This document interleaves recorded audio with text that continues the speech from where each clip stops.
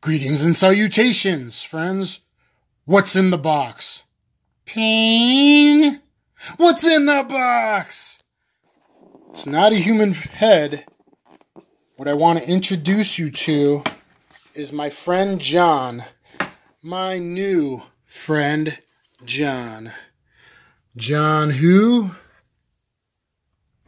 John DeLorean. Talo exclusive 3 inch 7 shot Ruger GP100. Look at those grips. Look at that fiber optic front sight. Look at that unfluted cylinder. Look at that hard to find, at least in seven shot, three inch ideal carry barrel. John DeLorean.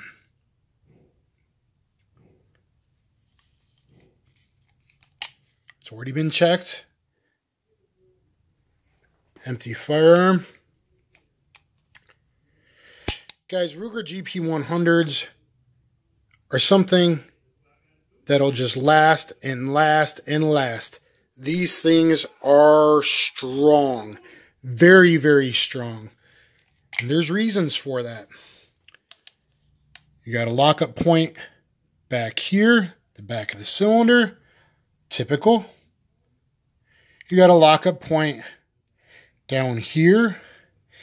And most importantly, you have a third lockup point at the crane right there.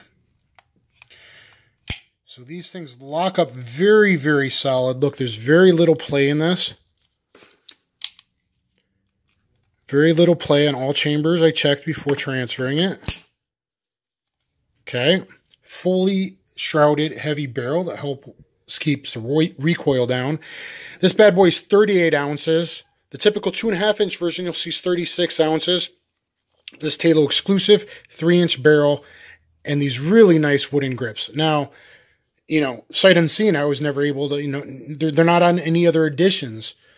I think this is the only revolver that comes with these grips and I actually fit my hand really well. We'll see how they do in recoil, but it actually is perfect. Fits my hand really, really well. While we're at it, let's look at that sight picture, that fiber optic front sight. In case you're fighting any nights.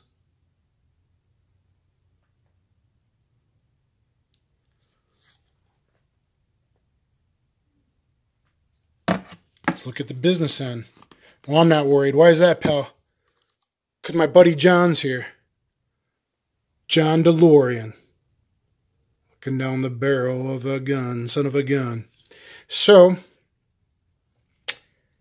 unfluted cylinder, guys. I really like the look. Three inch barrel, guys. Three inch barrel is going to give you the ideal balance. It balances beautifully. If you're looking for 357 Magnum, highly recommend finding the uh, the hard to find 3 inch barrels, which are ideal for carry.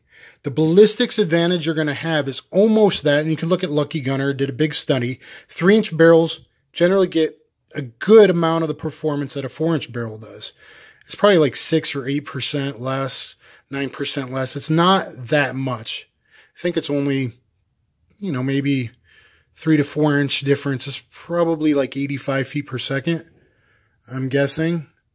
Now, I'm not Paul Harrell, but this three inch barrel is going to give you huge advantage over the typical two inch or one and seven eighths inch. Where 357 Magnum, yes, it's more powerful than 38 uh, Special Plus P, but it's nowhere near what a three inch will give you. Even the two and a half inch version, don't really know is is not really going to get you where you need to go. Three inch is going to get you for self defense purposes where you need, no matter kind of what ammo you have. So if you have a the mid-range kind of modern hollow point design like a 125 plus P Golden Saber, um, or 125 Golden Saber, that's fine. Or a Barnes 125 XPD, that's fine. But you can also with a three inch go old school like I'm planning on doing with a Federal 125 grain semi-jacketed hollow point or 158 grade semi-jacketed hollow point. Don't worry, folks. We're going to see a lot of shooting with this. I got all kinds of ammo on the range, 125, 158, Fiocchis, and the federal loads that are really, really hot. Should be pushing about 1,400 uh, feet per second.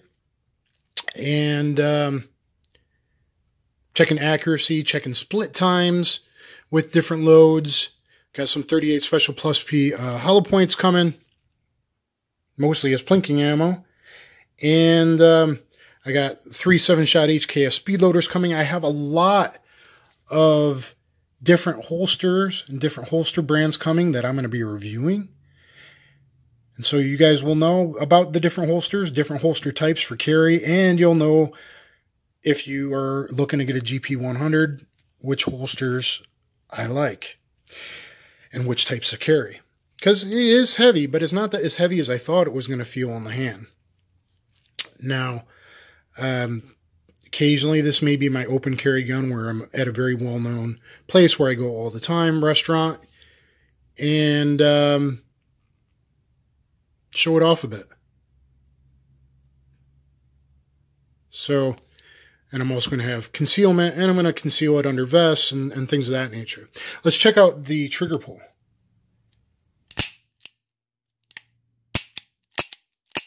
Very, very smooth double action trigger pull. Probably at about 10.2, 10.4 pounds. I haven't measured it, but that should be about where it's at. About a three, three and a half, I think low three pound single action pull, I believe. And I actually like the trigger pull on this better than the, the 686. I compared them a few days ago. Um, 686, great gun, but I believe this is stronger not for the reasons that most people say on the internet, but I believe it's stronger. And I like the trigger pull better because you can see how easily you can stack it there. And that's what they used to teach a lot, like at Quantico to FBI and whatnot. So you could fire heavy recoiling 357 Magnum, and then start stacking the trigger to fire again, and start checking the trigger again, like a striker fired where you're only letting out until the break, uh, sort of.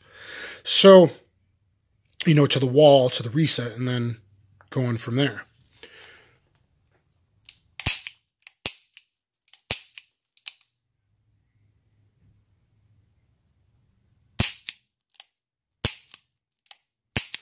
So this is John DeLorean, Talo exclusive. There's no other videos on YouTube about this, not even on 3-inch GP100s. There's some ballistic tests, but definitely not this model. Definitely not a 3-inch 7-shot with these grips. Talo exclusive, fiber optic front, much better than the typical black post.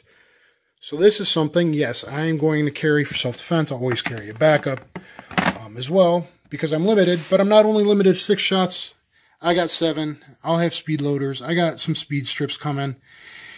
And so, guys, please look for the video or what I'm going to edit in here.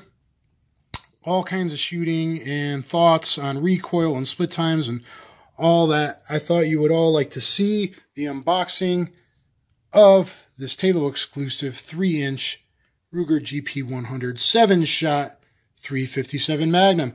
As always, please like, share, and subscribe. It makes me feel warm and fuzzy on the inside. I'm Dan the Wolfman. Please look for all my jiu-jitsu, catch wrestling, combatives, videos, explore my playlists, and uh, bring you these firearms, holster reviews, and things of that nature. Thank you very much.